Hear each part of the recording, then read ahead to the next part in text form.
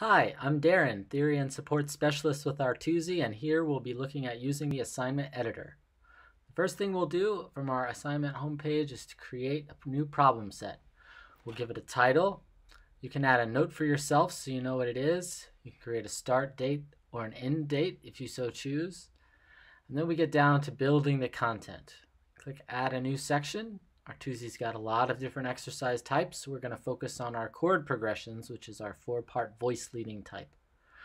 I'm going to make an exercise that does some authentic cadences. So as I scroll down, I'll see some cho chord choices.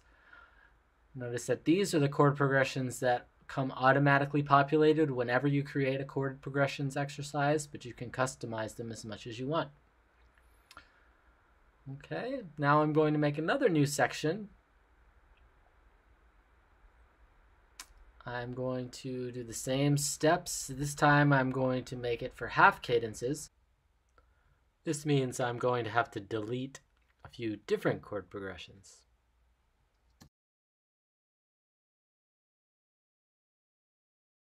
And for variety, I'm going to add a few more with some predominant to dominant cadences.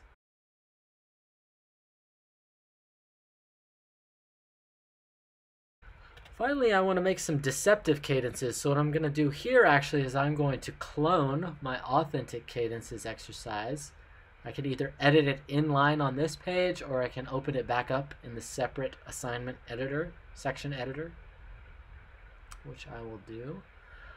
Deceptive cadences, I'm going to add a little note to the students, some extra instructions for them. And then I'm going to go in and change my chord progressions so that they're all writing deceptive cadences instead.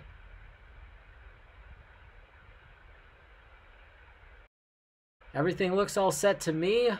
I could preview the assignment as a whole if I want, but I'm going to trust that I know what I'm doing and then I'm going to slide this button to green and now students will be able to see and start working on that assignment.